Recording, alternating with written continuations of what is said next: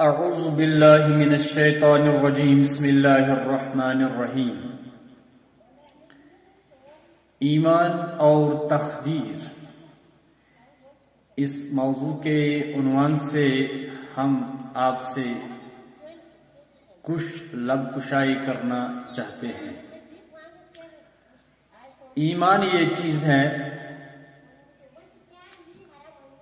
वमई यतवक्कल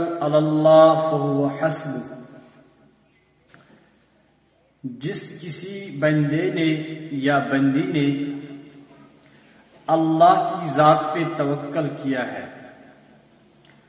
अल्लाह रब्बुल इज़्ज़त फरमाते हैं फहुआ हसब मैं उसके लिए काफ़ी हूँ लिहाजा हम शुरू से ही पढ़ते आए हैं सिफत ईमान। आमन तो मैंने ईमान लाया बिल्ला, अल्लाह की जात पे।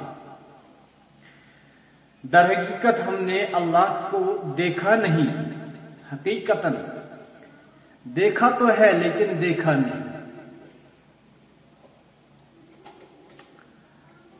लिहाजा ये एक गहरी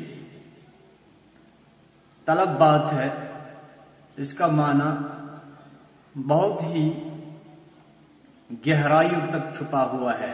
हमने अल्लाह को देखा भी है और नहीं भी देखा है। आमन तो बिल्ला मैंने अल्लाह की जात पे ईमान लाया है। व मलाइकती ही अल्लाह के मलाइकतुल मुकर्रबीन पे, हता कि न हमने अल्लाह को देखा है, और न मलाइकतुल मुकर्रबीन को देखा है।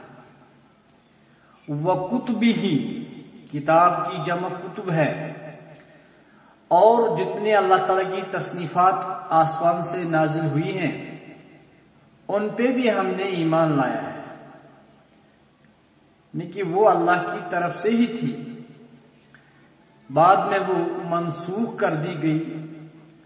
और अल्लाह रब्बुल इज़्ज़त ने पूरी उम्मत को कुरान हवाले कर दिया। व रसुली ही और व रसुली ही जो पैगंबर थे, पैगंबरानी निज़ाम थे पे भी हमने ईमान लाया, हता कि हम में से किसी ने उनको देखा नहीं है। वल यौमिल आखिर, यौम कहते हैं दिन को आखिर, यानी कि आखिरत के दिन पे, मरने के बाद दोबारा ज़िंदा होने को हमने ईमान लाया है। वल कदर खैर, हमने तकदीर के खैर को भी ईमान लाया है। वह शर्र ही और शर को भी ईमान लाया है। अगर इंसान को नफा पहुँचे तो जानना चाहिए अल्लाह ताला की तरफ़ से था। अगर इंसान को नुकसान पहुँचे, उसमें भी इंसान मुतमिन रहना चाहिए, ये भी मुझे अल्लाह की तरफ़ से लिखा हुआ था। लिहाजा, लेकिन अल्लाह ताला ने इंसान को सोच, समझ अता की है। अल्लाह रब्बुल इज़्ज़त ने इंसान को बसीरत की आँखें अता की है। अल्लाह रब्बुल इज़्ज़त ने इंसान को बेहतरीन सांचे में बनाया है। अगर ये अच्छा करे तो उसका फल इसको इस ज़िंदगी में ही देखने को मिलेगा। और बाद अज के हशर में उससे करोल हगन उसको अच्छा ही अच्छा होगा। अगर कोई इंसान इस ज़िंदगी में बुरा करे, मनो बदकारी करे बिहाई करे और कमर कस के रहे।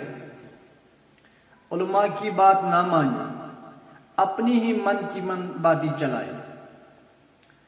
तो लिहाजा वह शर ही, वो शर उसके अपने करतूतों की वजह से फिर उस वक्त होता है। अपनी अटक की वजह से होता है। लिहाजा मीन अल्लाह ताला ये सारा कुछ अल्लाह ताला की तरफ़ से है। वमा तशाऊन आपके चाहने से कुछ नहीं होगा, इल्ला अल्लाह, जब अल्लाह की जात चाहे। वही कुछ होता है जो मर्ज़ी रब होती है। वल बड़सी बदल मौत यानी कि वमा तशाउन इल्ला आपके बंदो, आपके चाहने से कुछ नहीं होगा। अल्लाह की मीशत जो होगी। लेकिन अहादीस में आता, कसरत से अहादीस में आता है, रसूलुल्लाह सल्लल्लाहु अलैहि वसल्लम, अल्लाह रब्बुल इज़्ज़त को खैर और बरकत की दुआएँ मांगते थे। ताकि जो अल्लाह ने हमारे मुकद्दर में लिखी है, वो हमें मिल जाए। कहीं खुदा न खास्ता, हमारी बद आमालियों की वजह से, हमारी बद अफालियों की वजह से वो वहीं पे अटक ही न जाए। और वल बादल मौत, मरने के बाद तमाम दुनिया के लोगों को, कुलन्नास जमीरा पूरी उम्मत के लोगों को, मिन हैसुम्मा हमें मौत के बाद फिर अल्लाह के हुजूर ज़िंदा होना है। अल्लाह के सामने हमें जवाब, दही इस ज़िंदगी की देनी होगी। मेरे बंदे, मैंने आपको सौ साल दिया। नब्बे दिए, अस्सी दिए, सत्तर दिए, साठ दिए। बताओ इस ज़िंदगी में आपने क्या किया है? मेरे कुरान को सीने से लगाया था। मेरे रसूल के फरमान को सीने से लगाया था।